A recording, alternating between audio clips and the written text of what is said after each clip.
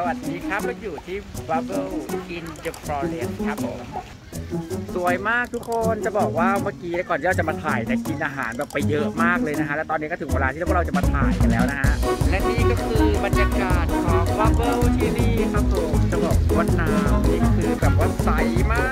ก สวยเลยทีเดียวครับทำให้เรารู้สึกว่าอยากจะไปทำที่ไล่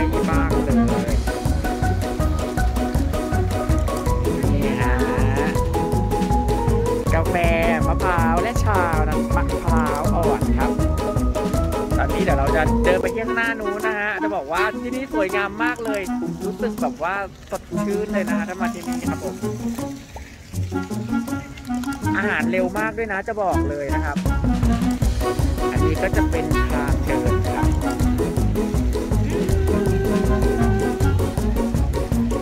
วันนี้โชคดีที่บอกว่าอากาศไม่ร้อนนะฮะ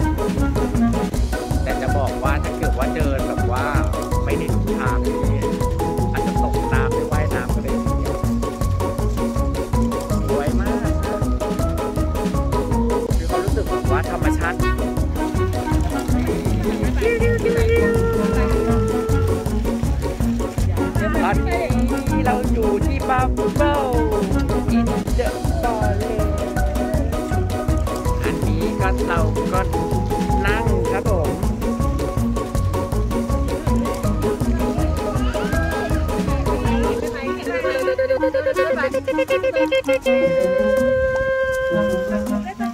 บรรยากาศแบบดีมากตอนนี้ฝนจะตกนะครับ เราก็คงถึงเวลาแล้วนะฮะ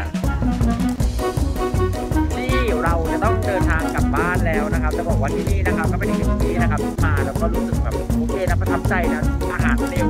แล้วก็อร่อยนะครับแล้วบรรยากาศดีด้วยนะครับวันนี้ก็โชคดีที่มาตอนช่วงเย็นๆนิดนึงก็เลยไม่ร้อนนะฮะบ๊ายบายทุกคนไปแล้วนะกลับบ้านแล้ว